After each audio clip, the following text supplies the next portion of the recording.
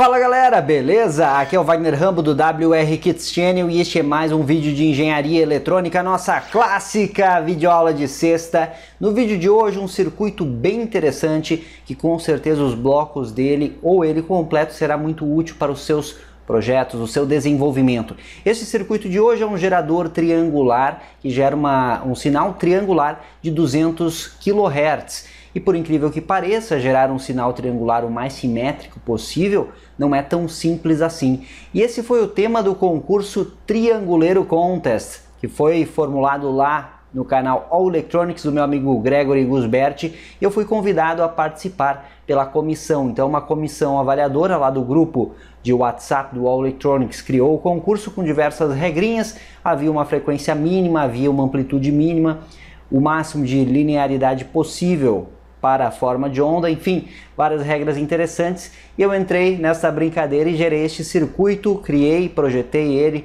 e espero que ajude você ao desenvolvimento de muitos projetos e para aprendizado de eletrônica nesta videoaula de hoje. Deixe like no vídeo, está sensacional, nós vamos demonstrar todas as formas de onda relevantes do circuito, vamos aprender bastante hoje. Lembrando que este vídeo é um oferecimento da Toroid do Brasil. Acesse toroid.com.br, primeiro link aqui da descrição. Faça a cotação para o seu transformador toroidal sob medida para o seu projeto. toroid.com.br Vamos para a clássica de sexta, recheada de aprendizado, com muitas dicas excelentes de eletrônica para você, posso garantir. Lembre de dar o like e me seguir também no Instagram e lembre dos nossos cursos Hotmart, links na descrição para o seu desenvolvimento profissional. Let's get started!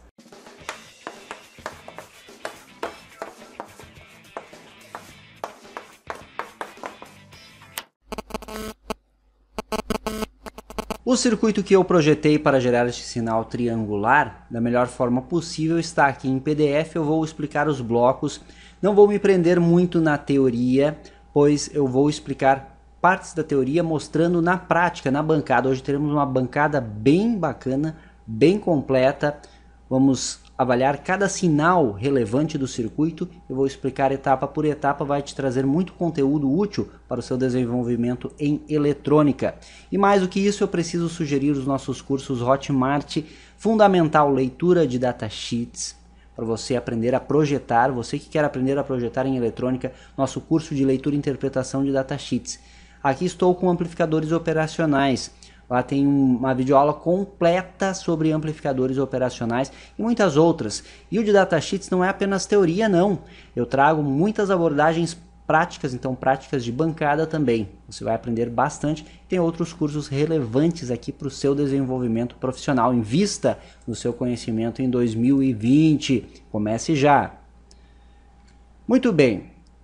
Sabemos da matemática que se eu integrar uma constante, eu tenho uma reta, a equação de uma reta. Portanto, uma constante positiva me dá uma reta crescente, uma constante negativa me dá uma reta decrescente. Sucessivas constantes positivas, negativas, positivas, negativas vai me dar o quê? Reta crescente, decrescente, crescente, decrescente. O que é isso? Que eu acabei de mostrar para você. Um sinal quadrado de mais e menos. Então, tensão positiva, tensão negativa. E um sinal resultante triangular reta crescente, reta decrescente, reta crescente, reta decrescente. Partindo deste pr princípio de integração, eu pensei em elaborar o circuito. Por isso eu logo pensei em amplificadores operacionais utilizando a topologia de integrador. Mas onde está o integrador neste esquemático? pois sabemos que o integrador tem aquela topologia típica que utiliza um capacitor na malha de realimentação. Cadê esse capacitor? Olha só, galera, a sacada que eu tive aqui. Nós, com amplificadores operacionais de uso geral, por exemplo, o 741 e o LF356, e esse era um dos requisitos lá do concurso específico do Trianguleiro Contest, não utilizar amplificadores de vídeo, por exemplo, tem banda larga, com estes comuns, nós temos uma limitação em frequência, certo? O 741, a curva dele, se você analisar, a galera que fez o curso de datasheets vai lembrar, No ponto de 0 dB nós temos a frequência de 1 MHz, isso considerando circunstâncias ideais. Perfeito?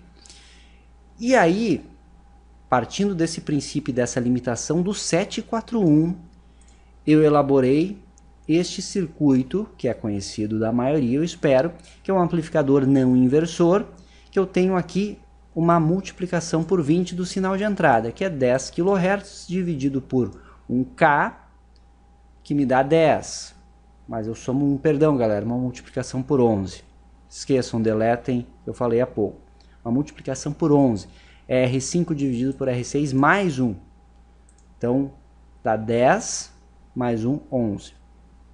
Até aí tudo tranquilo, certo? Só que dependendo da frequência que eu aplicar na entrada não inversora, eu vou ter a limitação.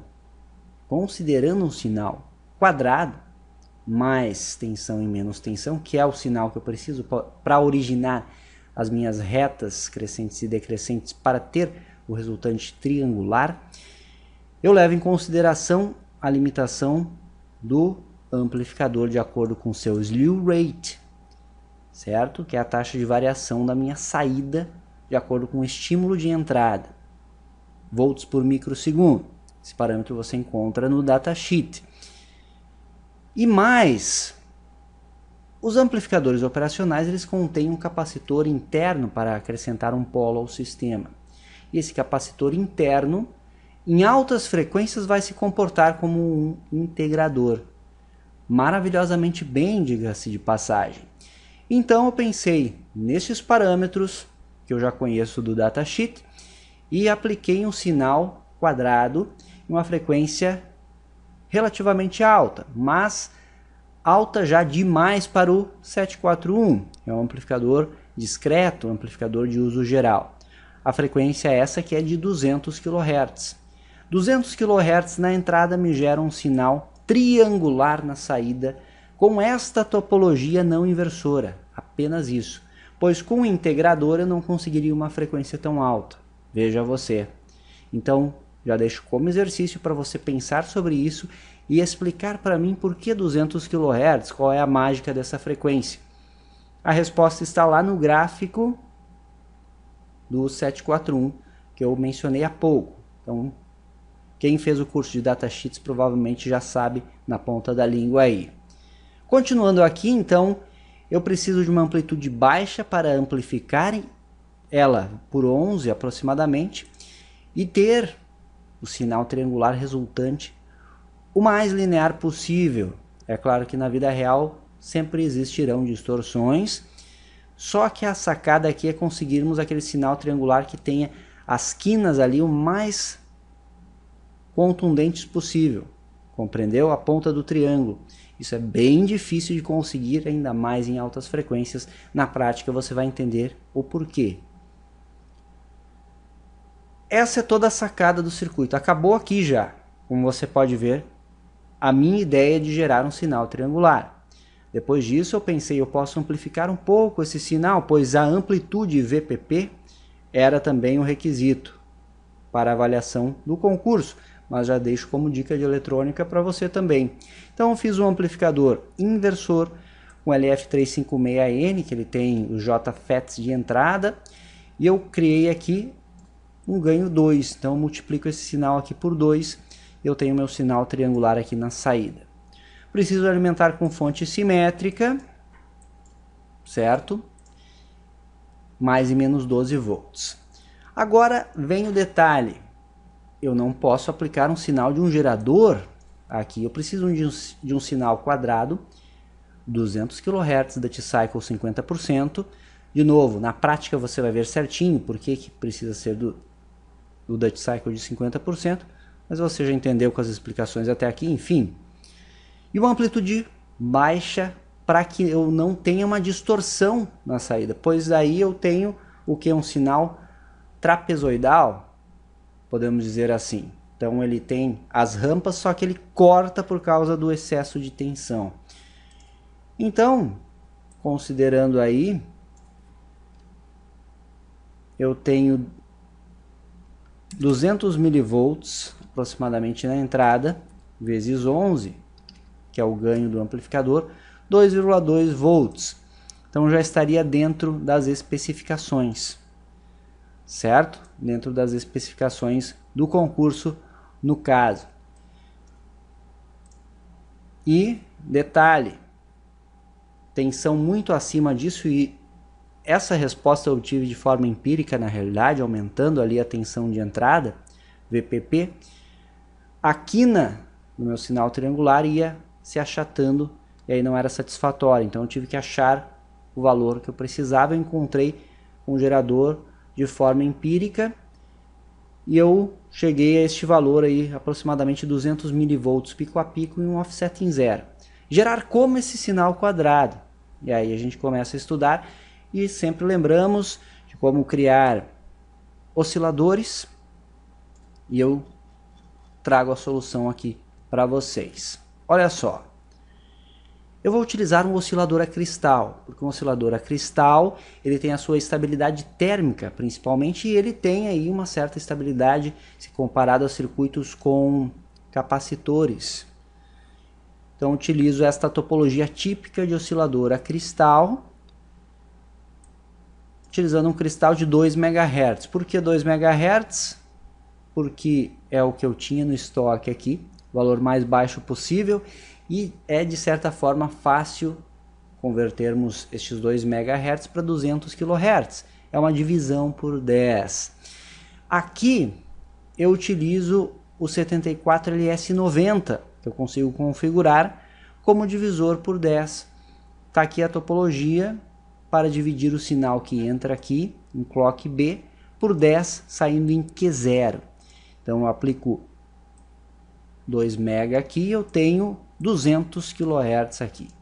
Resolvi a frequência e mais do que isso, como este circuito é constituído de flip-flops que são sensíveis à borda de subida, aliás, borda de descida, mas enfim, no caso sensível por borda é o termo, eu corrijo eventuais problemas de Dutch Cycle que são inerentes ao meu oscilador a cristal, compreendeu? Isso você vai ver também na prática daqui a pouquinho. Fique ligado, já vou encerrar aqui a teoria e vamos na bancada. Tendo o sinal em 200 kHz, ele tem uns probleminhas em virtude aí da divisão, uma frequência um pouco mais alta, vai ter alguns problemas que eu facilmente corrijo com este buffer Schmidt Trigger utilizando o 74HC14 TTR que contém portas Schmidt Trigger. Portas Schmidt Trigger são aquelas que utilizo sempre para restaurar sinais analógicos para o meio digital. E aqui eu quero realmente um resultado digital na saída, 0 e 1. Um. Então aqui eu tenho low e high, 0 a 5 volts, níveis TTL. E eu preciso colocar isso em zero, offset em zero, ou seja, mais 2.5 menos 2.5. Isso eu faço facilmente com o capacitor aqui, acoplando o sinal e zerando o offset. O capacitor não vai deixar passar os níveis DC. Então vou ter o meu sinal neste ponto aqui em zero offset. Mais 2.5 menos 2.5. Agora é só atenuar o sinal. Então eu utilizo aqui um divisor resistivo 10K e 1K que tem a equação simples aqui, que é 1000 dividido por 11.000, ou seja, 1000 mais 10.000, vezes 5. Ok? Então nós temos 454 milivolts na saída. É um pouco acima dos 200, mas na prática vai funcionar como previsto. Lembrando que teoria e prática às vezes tem uma certa desassociação. Isso é importante, pois na teoria realmente tudo dá muito certo, na prática nós temos que contornar algumas questões do gênero. Ainda as entradas das portas lógicas, como são 74HC e não 74LS, que tem o pull-up interno, eu aterro elas, ou poderia colocar em 5 volts, mas eu estou aterrando aqui para evitar problemas de ruído. E acabou o circuito, galera. Acabou o circuito. Tem os capacitores de desacoplamento aqui. E ainda eu utilizei um 78L05, que converte os mais 12 volts para mais 5 volts aqui para os circuitos integrados TTL. Eles funcionam com 5 volts. Mas eu poder, poderia utilizar o, ter, o terceiro canal da fonte de bancada para alimentar em 5 volts, só que eu optei por deixar este regulador assim, utiliza apenas uma fonte simétrica de mais e menos 12 para todo o circuito. Vamos ver na bancada, tá demais a aula de hoje, então fique ligadinho, acompanhe tudo. Venha comigo!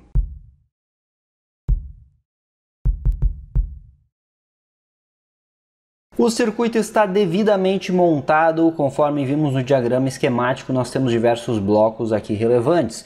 O nosso gerador quadrado de 2 MHz, o divisor por 10, então circuito integrado 79, aliás 74 LS90, está configurado para dividir a frequência por 10, o buffer Schmitt Trigger, o atenuador, o amplificador 741, que tem a função de integrar esse sinal quadrado de entrada e para dar um pouco mais de ganho o LF356. Estas são as etapas essenciais do circuito. Nós vamos verificar no osciloscópio canal 1 o sinal de 2 MHz, canal 2 o sinal dividido por 2, aliás, dividido por 10, desculpa galera. Canal de, o sinal dividido por 10, portanto, deve ter próximo de 200 kHz. Depois, outro sinal relevante é o sinal corrigido por Schmitt Trigger. E aí, o sinal com offset em zero, atenuado, integrado e amplificado. Estas são as etapas. O circuito é alimentado por mais e menos 12 volts, temos 28 mA de consumo na fonte positiva e 6 mA na fonte negativa. Muitos me perguntam como eu faço essa configuração simétrica na fonte de bancada. Essa aqui é uma fonte tripla e ela tem três canais isolados. Portanto, eu utilizo o canal 1 e 2, que podemos ajustar de 0 a 30 volts, como você está vendo aí, e eu ligo eles em série. Eu já demonstrei isso no curso de eletrônica para iniciantes, inclusive. Então é basicamente uma ligação em série. É importante que a sua fonte de bancada tenha os canais isolados entre si, ou seja, naturalmente os GNDs não têm interligação, ou você pode utilizar duas fontes de bancada independentes, fontes simples. Então deixo como dica extra para você que ainda não sabia configurar como fonte simétrica. De cara eu mostro a tela do osciloscópio para você e é muito interessante como podemos aprender bastante sobre eletrônica em circuitos deste tipo, onde precisamos converter diversos sinais quando criamos um gerador de sinais específico, seja para sinais senoidais, quadrados, pulsos, rampas, sinais triangulares, nós verificamos isso, essa necessidade de fazer adequação de, sinais, de sinais, ou dividindo frequência, ou amplificando em amplitudes específicas, ou atenuando em amplitudes específicas, ou deslocando a fase, ou seja, isso é fundamental para você desenvolver projetos de eletrônica. E esse circuito, como dito, eu desenvolvi do zero. Então eu fui fazendo os testes e foram existindo foi existindo a demanda, a necessidade de sinais específicos para que tudo funcionasse harmoniosamente bem. Eu espero trazer este conhecimento para você nesta videoaula. Eu já peço seu comentário aqui se gosta desse tipo de aula, esse tipo de assunto, mais a nível de projeto mesmo, projeto eletrônico, projeto em hardware. Olha só, eu vou trigar aqui para o canal 1 primeiro, pois eu quero mostrar para vocês o meu gerador de 2 MHz. Observem apenas o canal 1, ignorem os outros. O gerador de 2 MHz está aqui, em amarelo. Para nós termos um sinal triangular que seja o mais simétrico possível, que ele não tenha um comportamento uma rampa ascendente ou descendente, nós precisamos de um Dutch Cycle em 50%. Então aqui nós já aprendemos um truque de eletrônica, pois naturalmente existe uma deficiência no meu Dutch Cycle de 50%. Eu posso até medir isso, vamos ver se... Deixa eu ver aqui, adicionar medida, canal 1, medida será o DUT positivo. Ok. Adicionei a medida errada aqui. Ah, sim. DUT positivo, adicionado, ok. Agora sim. Eu visualmente já verifiquei que não estava em 50% e a medida revela isso para nós. Ó. Nós temos um DUT aqui de 46,8%, podemos arredondar para 47% o DUT positivo. Significa que a nossa rampa de subida, a nossa rampa ascendente do sinal triangular nestas condições será mais rápida que a rampa de descida, pois o nível lógico baixo, o DUT negativo, é superior. Se aqui é 47, então aqui é 53%. Isso já é um problema para o nosso circuito. Só que, lindamente, lindamente falando, a eletrônica traz o recurso dos counters. Os counters recebem um sinal de clock e lá da teoria de eletrônica digital, nossas, nossas teorias iniciais de eletrônica digital, quando você começa a estudar os circuitos síncronos, você aprende sobre o dispositivo chamado flip-flop. E os contadores nada mais são do que conjuntos de flip-flops. E olha o que acontece aqui na divisão por 10 nós temos o 74LS90 com um conjunto de counters para este propósito. A divisão por 10 do meu sinal de entrada nos garante a correção do problema do Dutch Cycle. Por isso que a eletrônica é fabulosa, como eu sempre gosto de dizer. Deixa eu só dar uma simplificada aqui. Vamos remover estes sinais. Tá, os demais eu vou deixar mas eu vou adicionar o Dutch positivo agora no canal 2. Ok. Tá aí. Está corrigido, ó. 49.8, podemos arredondar aí para 50% no canal 2. Ele pode estar se confundindo um pouco, pois o canal 2, em virtude da alta frequência que entra, tem um pico ali um pouco antes do sinal descer. Estão vendo aqui? Podemos fazer slow falling aqui, borda de descida. Eu posso tentar analisar isso aumentando a amplitude e realmente nós temos este pico aqui, ó. Indesejável. Estão vendo aqui? Tá aqui ele, ó no meu último período aqui do sinal de 2 MHz. Outra coisa que eu deixo como curiosidade para vocês é a perturbação que os nossos sinais causam no chaveamento. Perceberam isso? Observem ali o pulso. Olha aqui, ó. Deixa eu trigar direitinho aqui. Então chaveou aqui meu sinal de clock de 2 MHz e houve uma perturbação neste ponto aqui, ó.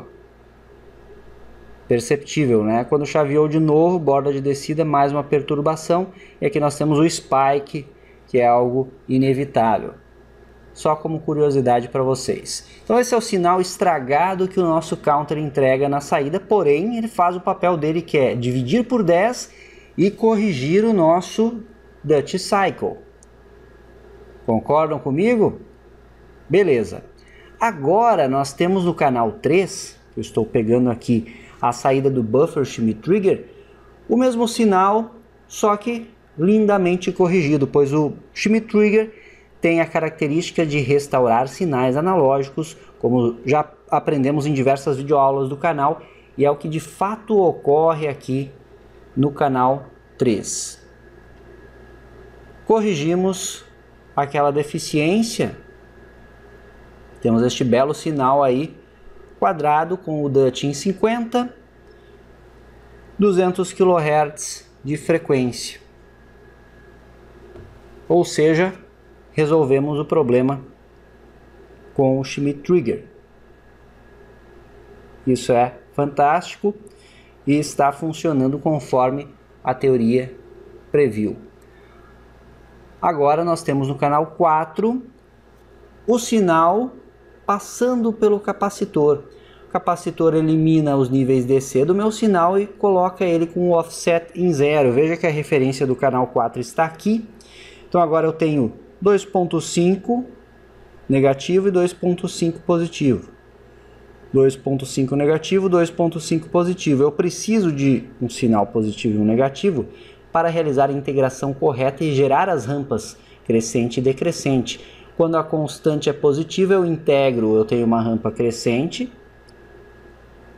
uma reta crescente. Quando a constante é negativa, eu integro, eu tenho uma reta decrescente, conforme a teoria matemática nos, nos diz. Aí está. Vou pegar o canal 4 agora e colocar aqui após o atenuador, que tem o propósito de diminuir a amplitude específica. Então, este sinal que eu aplico no 741 para realizar a integração de forma correta. Então, já vemos que a amplitude está menor, cerca de 10 vezes menor. Então, dando um zoom vertical aí, 500 mV por divisão, agora no canal 4, nós temos um sinal de 200 kHz, amplitude de 200, aliás, um pouco menor que 500 mV pico a pico, e o offset em zero, que será aplicado ao integrador aqui com 741, cuja própria limitação do componente, como estudamos, vai fazer a integração.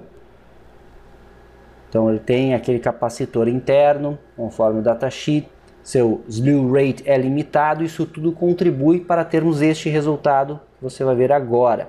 Lembrando que eu tenho uma etapa de ganho, que eu vou amplificar esse sinal, vou amplificar e integrar esse sinal e você vê que o resultado é este aí. Olha só, é ou não é uma maravilha eletrônica? Conforme a teoria, galera, olha só que beleza, em verde aí o nosso sinal triangular, podemos dizer que está simétrico. O canal 3 é o comportamento de sinal que entra no 741, porém atenuado e com offset em zero. Lembrando disso, eu posso até colocar aqui o canal 3 com offset em zero para termos coerência na análise. Tá aí, passando pelo capacitor. E eu tenho o resultado. Uma bela onda triangular, praticamente simétrica então, vamos analisar em mais detalhes, mas eu chamo a atenção de que quando o sinal é positivo, rampa crescente, quando o sinal é negativo, rampa decrescente. E por fim, eu passo por uma etapa de amplificação aqui com o LF para dar um pouco mais de ganho, apenas para melhorar minha nota lá no trianguleiro, mas também é uma opção que você tem, uma vez que você adequou o sinal da forma que você desejava, você pode aplicar etapas de amplificação para ter os resultados esperados, controle de amplitude e offset, por exemplo. E aí que está a magia, o fabuloso da nossa querida eletrônica e essa paixão que eu gosto de transmitir para vocês, trazendo o melhor conhecimento possível também, é claro. A maravilha toda é essa, nós temos o conhecimento, a teoria e temos sinais para adequar e nós controlamos este sinal da maneira desejada. É claro que o circuito não está perfeito, galera, mas podemos ver o seguinte.